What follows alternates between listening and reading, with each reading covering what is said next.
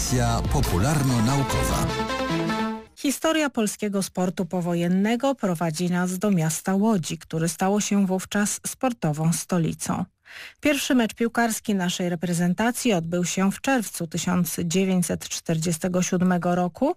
Stopniowo odradzały się mistrzostwa, rozwijały kolejne dyscypliny, a zawodnicy zdobywali medale olimpijskie. Przedstawimy dziś kilka sylwetek wybitnych sportowców, zdobywców złotych medali.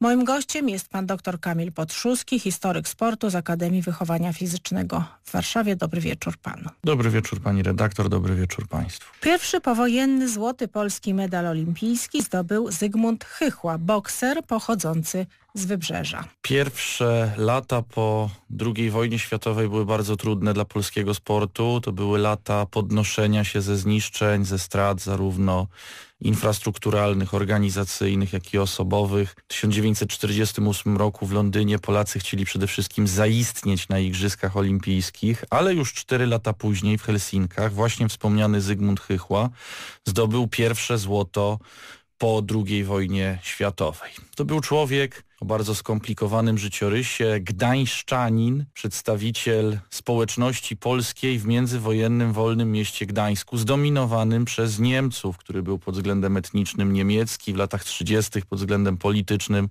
coraz bardziej hitlerowski. Polacy nie mieli tam łatwo. Chychła był synem woźnego szkoły powszechnej w Wolnym Mieście Gdańsku i to właśnie ojciec podarował mu rękawice bokserskie.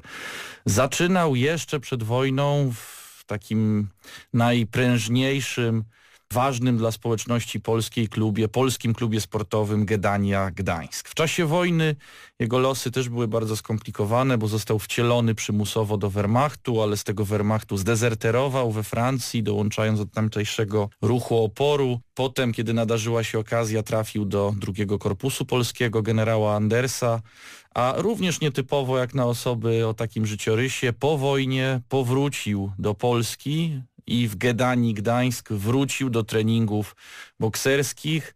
No, szybko jego talent dostrzegł trener Felix Sztam, ówczesny trener kadry olimpijskiej i w 1952 roku Chychła, twardy Kaszuba, jak go nazywano, osiągnął swój największy sukces w postaci złotego medalu olimpijskiego w Helsinkach, zresztą pokonując boksera sowieckiego Siergieja Szczerbakowa w finale. Uczestniczył też w takich słynnych mistrzostwach Europy w 1953 roku w hali Gwardii i najwspanialszy moment polskiego boksu. Polacy zdobyli tam pięć złotych medali.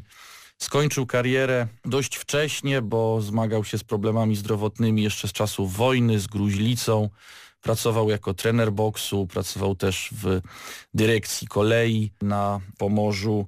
Ostatnie lata życia spędził w Niemczech, jego żona pochodziła z niemieckiego królewca i już po zakończeniu aktywności zawodowej wyjechali do Niemiec. Zmarł w 2009 roku w Hamburgu. Wspominamy dziś także Elżbietę Duńską-Krzesińską, zwaną Złotą Elą, warszawiankę, która oprócz sukcesów sportowych miała wykształcenie medyczne, była stomatologiem, a na uwagę zasługuje jej legendarny złoty warkocz, o którym pewnie pan będzie mówił. Na pewno. Łączenie sportu ze zdobywaniem nieraz trudnego wykształcenia cechowało wielu sportowców tamtego okresu. To były czasy jeszcze przed pełną profesjonalizacją, kiedy no, sportowcy musieli myśleć o tym, jak zabezpieczyć sobie resztę życia po zakończeniu kariery. W przypadku Elżbiety Duńskiej, po mężu Krzesińskiej, to musiało być naprawdę wymagające, bo łączyła wyczynową karierę lekkoatletyczną z trudnymi studiami na Akademii Medycznej w Gdańsku. Także miała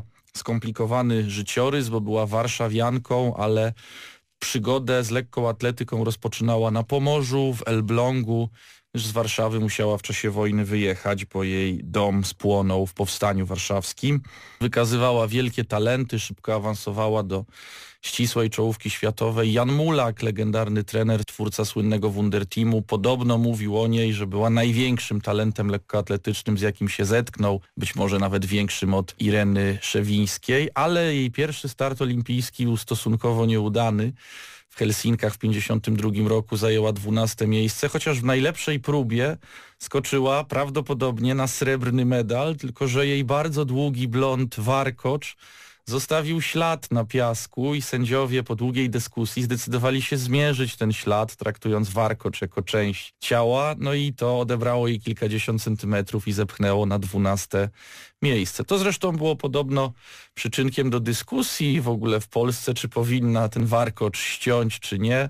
Stanęło na takim trochę kompromisowym rozwiązaniu, że skróciła nieco włosy, tak iż już nie zostawiały śladu na piasku. Swój największy sukces odniosła 4 lata później w Melbourne, zdobywając złoto olimpijskie z rekordem świata 6,35, a jeszcze piękną historią był jej trzeci i ostatni start olimpijski 1960 roku w Rzymie, gdzie długo prowadziła, a gdzie ostatecznie zdobyła srebrny medal, a to dlatego, że pomogła swojej głównej rywalce, reprezentantce ZSRR Wierze Krepkinie, która miała problemy z wymierzeniem rozbiegu i po wskazówkach Elżbiety Duńskiej-Krzesińskiej trafiła idealnie w belkę, przeskakując ją o kilka centymetrów.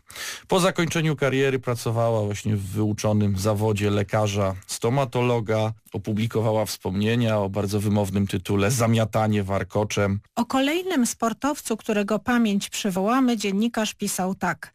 Najlepszy gracz Śląska, Cieślik, wykazywał formę i klasę, jakiej nie oglądaliśmy po wojnie u żadnego jeszcze piłkarza w Polsce. Klasa tego piłkarza stawia go już dziś, dodam to były lata 50., na pierwszym miejscu wśród wszystkich napastników Polski, a więc Gerard Cieślik. Tak, jeśli mówimy o sporcie tuż powojennym, no to piłka nożna także się odradzała. To był sport pod wieloma względami najpopularniejszy, tak jak przed wojną, gromadzący największą publiczność.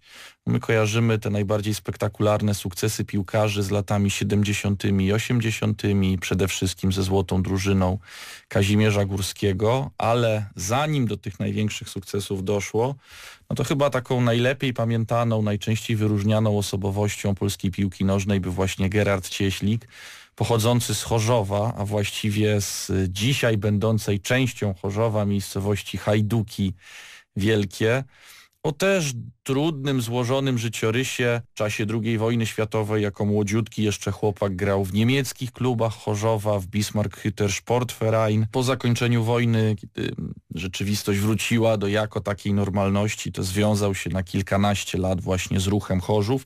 Podobno pod pretekstem obowiązkowej służby wojskowej chciała go pozyskać Legia Warszawa, ale został na Śląsku, bo Huta Batory w Chorzowie miała zagrozić strajkiem na wypadek jego przejścia do stolicy. Więc całą karierę spędził na Górnym Śląsku. W kilkudziesięciu meczach reprezentacji Polski występował jako jej kapitan. Najsłynniejsze spotkanie to był oczywiście mecz ze Związkiem Radzieckim w eliminacjach do Mundialu w Szwecji.